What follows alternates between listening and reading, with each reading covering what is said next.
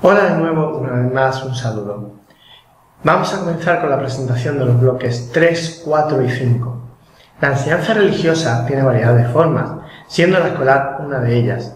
El ideal de enseñanza o educación escolar que se posea, las finalidades y los objetivos que se persigan y qué papel desempeña la enseñanza religiosa en esa educación, determina y fundamenta un método didáctico u otro, esto es, según qué se entienda por enseñanza religiosa escolar, así será el cómo se enseña o se desarrolla en el proceso de enseñanza-aprendizaje. En el panorama bibliográfico español existen unos cuantos manuales casi homónimos sobre pedagogía didáctica de la religión. En muchas ocasiones se plantean métodos que se encuadran en el modelo vivencial, experiencial o de correlación, enfocados más hacia la catequesis y no en un modelo cognoscitivo que sería más propio del ámbito escolar. No se debe olvidar que la enseñanza religiosa escolar no es catequesis, sino que a pesar de ser complementaria, posee unas características específicas que la hacen ser diferente y que por sí misma contribuye a la consecución de los objetivos propios de la educación en la escuela. La opción religiosa católica se presenta en el ámbito escolar con el carácter científico con el que se abordarán las ciencias de la religión y la teología, sus contenidos son saberes con una fundamentación y una metodología científica propia, implantados con rigor y tradición en casi todos los países de la Unión Europea. La enseñanza religiosa contribuye a la calidad de la educación desde la propuesta y el desarrollo de conocimientos, valores y actitudes que conforman su propio currículo.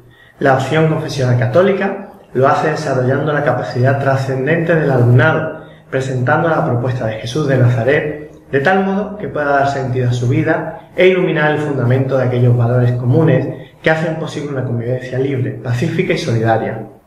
Además, se ofrece una información significativa acerca de las demás confesiones religiosas, subrayando de modo especial el trabajo conjunto que realizan en favor de la convivencia, la justicia y la paz mundial. El currículo de la enseñanza de religión y moral católica es una síntesis básica y global del mensaje cristiano, adecuada a la edad del alumno, a las exigencias epistemológicas de la materia, a las expresiones culturales del entorno y a las demandas didácticas del sistema educativo. Junto con otras opciones, se enmarca en un contexto histórico y social.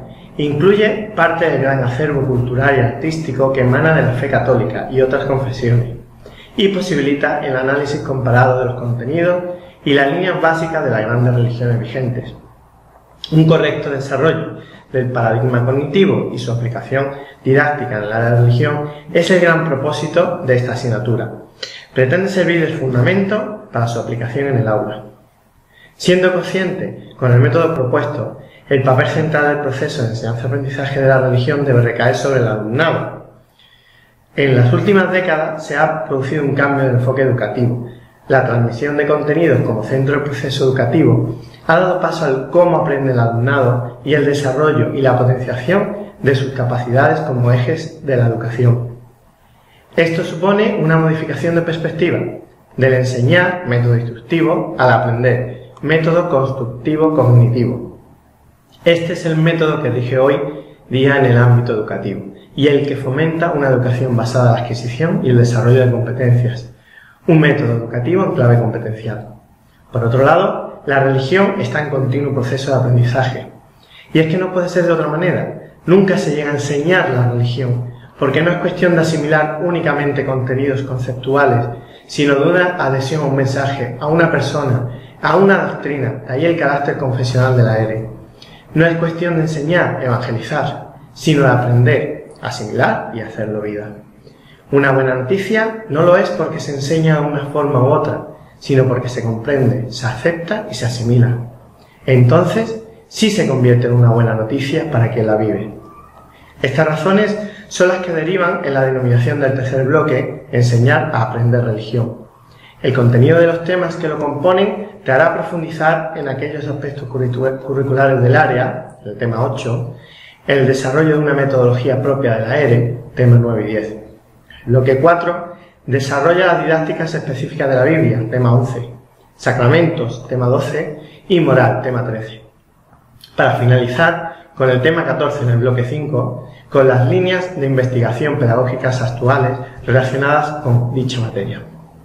Cada bloque agrupa temas muy interrelacionados, independientes en su estructuración, pero dependientes en su contenido.